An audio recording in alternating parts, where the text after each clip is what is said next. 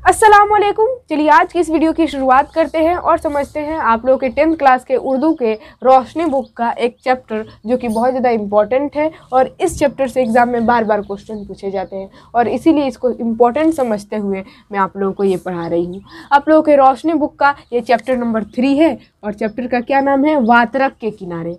क्या नाम है? वातरक के किनारे। और ये एक अफसाना है। अफसाना किसे कहते हैं? मैं आप लोगों को ऑलरेडी बता चुकी हूँ, जब मैं दरक्षा का पढ़ा रही थी, वहाँ पर बताई थी। लेकिन फिर भी कोई दिक्कत नहीं है। एक बार फिर बता दे रही हूँ। अफसाना, किस्सा और कहानी को ही आमतौर पर अफसाना कहते हैं, जिसको एक ही बैठक में पढ़ा जा सके। ठीक है? मतलब किस्सा कहानी को ही अफसाना कहते हैं। तो ये क्या है? कहानी है।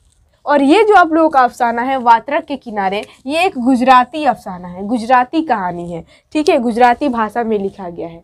ठीक है, गुजराती भाषा कहाँ का भाषा है? तो गुजरात का भाषा है। ठीक है तो ये गुजराती भाषा है और इस कहानी को, इस गुजराती कहानी को लिखने वाले कौन है? वो है पन्ना लाल पटेल। ठीक है मुसन्फ़ कौन है? पन्ना लाल पटेल। इस अफसाना के अफसाना निगार कौन है? पन्ना लाल पटेल। अफसाना मतलब कहानी और अफसाना निगार मतलब कहानी को लिखने वाला। तो कहानी को लिखने वाला पन्ना लाल पटेल, इनको अफसाना निगार भी बोल सकते हैं मुसन्फ़ भी बोल सकते हैं। मुसनफ़ का मतलब भी होता है लेखक। इस चैप्टर के लेखक कौन है? लिखने वाले कौन है? ठीक है मुसनफ़ या अफसाना निगार कोई भी बोल सकते हैं। ठीक है, और ये जो आप लोगों का गुजराती भाषा में कहानी लिखा गया है, इसको उर्दू में ट्रांसलेट करने वाले हैं मजहरुल हक। ठीक है मतलब ये जो कहानी पन्नालाल पटेल गुजराती भाषा में लिखे हैं उस गुजराती भाषा में लिखे हुए कहानी को उर्दू में ट्रांसलेट उर्दू में तर्जमा मजहरुल हक ने किया है। मजहरुल हक अलवी, पूरा नाम है। ठीक है, मुतरजम में ये ट्रांसलेटर है, जो कि उर्दू में तर्जमा किए ट्रांसलेट किए हैं, और यही इनका ट्रांसलेट किया हुआ आप लोगों को रोशनी बुक में दिया है वातरक के किनारे। ठीक है अब डायरेक्ट हम लोग सीधे सीधे वात्रक के किनारे अफसाना कहानी पर आते हैं इसको समझते हैं। क्योंकि मुसनफ़ के बारे में तो पढ़ना नहीं है। जिस तरह आप लोग दरक्षा के बुक में पढ़ते थे मुसनफ़ के बारे में कि उनका जन्म कब हुआ था मृत्यु कब हुई थी उनका आ, क्या बचपन का नाम क्या था उनका तखलुस क्या था ऐसा कुछ नहीं पढ़ना है। इसमें डायरेक्ट मुसनफ़ का नाम हो गया पन्ना लाल पटेल इनके बारे में अब कुछ नहीं पढ़ना है। और ना एग्ज़ाम में क्वेश्चन पूछेगा कि इनका जन्म कब हुआ था इनकी मृत्यु ऐसा कुछ नहीं पूछेगा। सिर्फ़ ये पूछ सकता है कि वात्रक के किनारे अफसाना के मुसनफ़ कौन है? तो आप लोग डायरेक्ट पन्ना लाल पटेल लगाइएगा। ठीक है, वात्रक के किनारे कहानी अफसाना का जो मेन कैरेक्टर है मेन किरदार, बोले तो मरकज़ी किरदार, वो है नौल।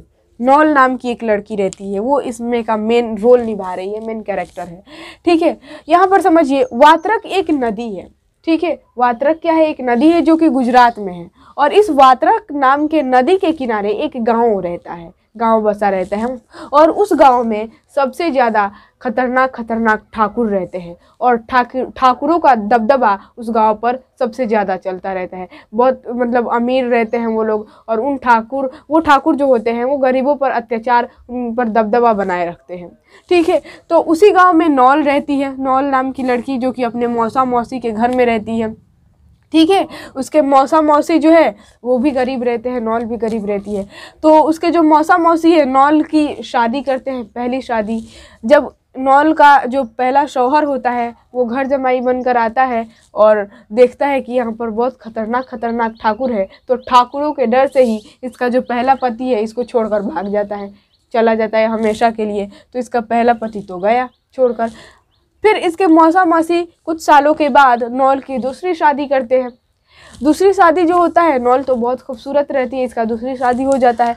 उसके बाद होता यूँ है कि इसका जो दूसरा पति आता है, वो बहुत नौल को मानता है और वो भी घर जमाई बनकर इसके घर में रहता है। ठीक है, घर जमाई मतलब समझते हैं। जैसे कि लड़की का शादी हुआ, जिस लड़के से उस शादी करने के बाद उस लड़के को लाकर लड़की के घर में ही रख दिया जाता है। उसी लड़के को बोला जाता है घर जमाई। तो यहाँ पर नॉल की जो दूसरी शादी हुई रहती है उस, वो भी पति क्या रहता है? वो घर जमाई बनकर रहता है।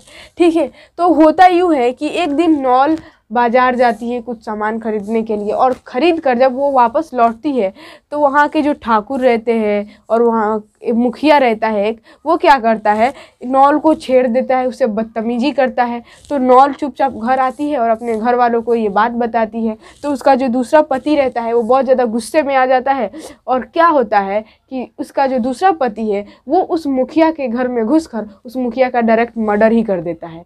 अब मर्डर करने के बाद ये बहुत बड़ी बात थी। एक गरीब इंसान का एक बहुत बड़े अमीर और एक ठाकुर का मर्डर कर देना बहुत बड़ा बात था और एक कानूनन जुर्म भी था।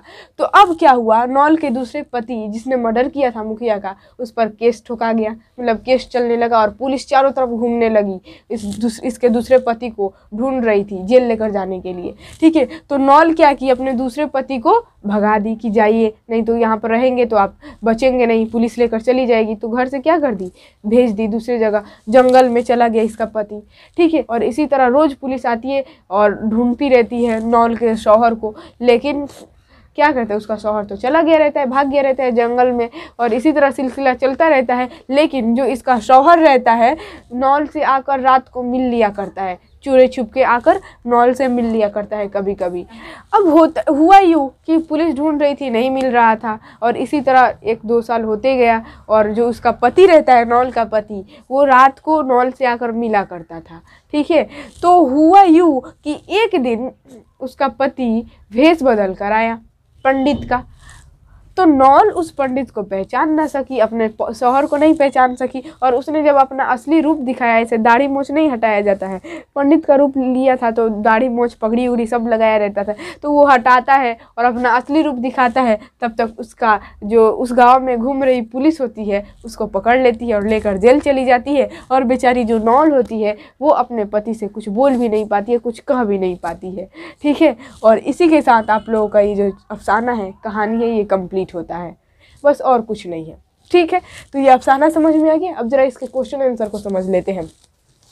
देखिए, मैं आप लोगों का रोशनी का बुक ले ली हूँ और ये चैप्टर निकालती हूँ।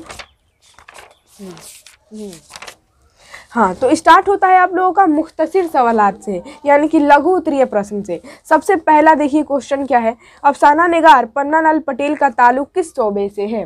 तो अफसाना निगार जो पन्ना लाल पटेल हैं मुसन्फ़ इनका ताल्लुक गुजरात से है, गुजरात के शोबा से है। ठीक है? दूसरा सवाल है, अफसाना की सिर्फ़ से अपनी वाकफियत ज़ाहिर कीजिए। ठीक है? अफसाना किसे कहते हैं? आप लोगों को बताना है। ठीक है? तो अफसाना किसे कहते हैं? मैं ऑलरेडी दरक्षा का बुक पढ़ा रही थी ना, उसमें भी बता चुकी हूँ।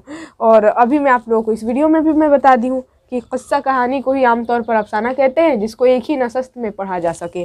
ठीक है, तीसरा सवाल है, ज़ेर निसाब अफसाना मौजूआती एतबार से किस नौ ईद का है? यानी कि जो आप लोगों का ये अफसाना है, वातरक के किनारे, ये किस नेचर का है, किस प्रकृति का है? तो आप लोग क्या लिखेंगे?